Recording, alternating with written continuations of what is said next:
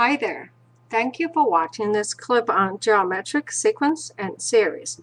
Our task at hand is to convert 0.16 repeating to a fraction form.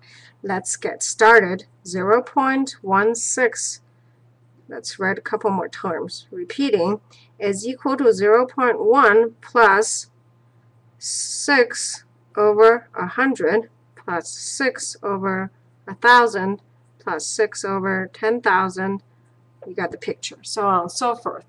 I often get asked what the difference is between geometric sequence and series. Now each one of the term themselves is sequence.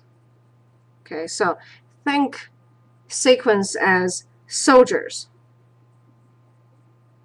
they themselves don't really do much. They are related in that each term is differed by a set constant ratio, but they are sequenced. They're not doing anything. Thinking series as army in that they're added together. So series is summation of sequences. So that's the difference. All right. Now here we do have a formula. So summation of an when n equal to 1 to big N is equal to 1 minus the ratio, okay, the first term minus the last term, which is a0 times uh, r to the n plus 1 term. Okay, so the proof of this formula is actually pretty intricate and it's one of the greatest um, elegant proof there is. But we will not go into this proof of this formula in this clip.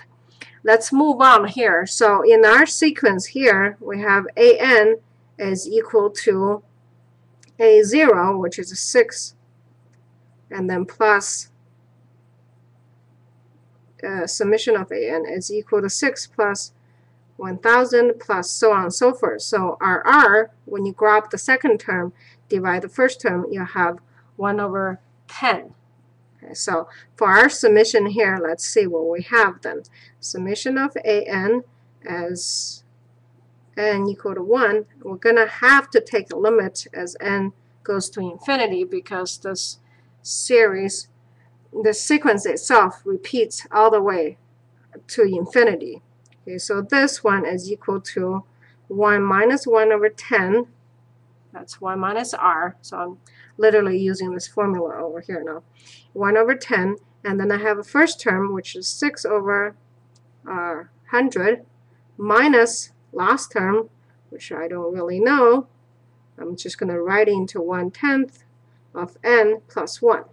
Okay, Since 1 tenth is less than 1 as limit n goes to infinity, this term goes to 0 It gets smaller and smaller. So basically we're saying, look, limit of n minus, there's the limit, limit of 1 tenth n plus 1 is equal to 0. We're using this property over here.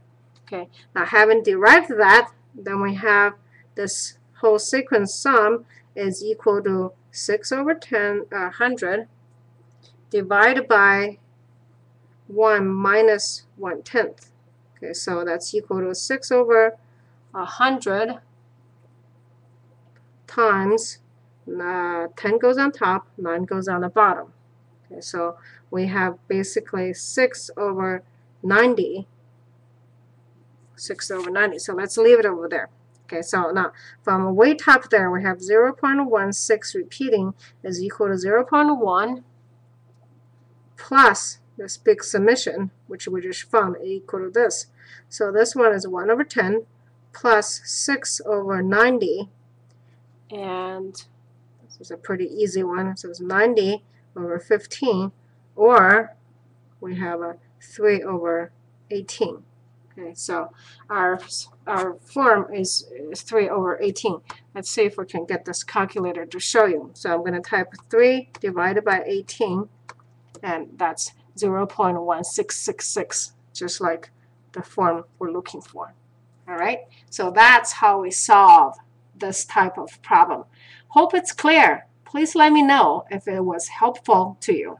Hi, This is Dr. Pan recording from Tucson, Arizona. For more math answers, please subscribe to my channel. Till next time, have a confident day.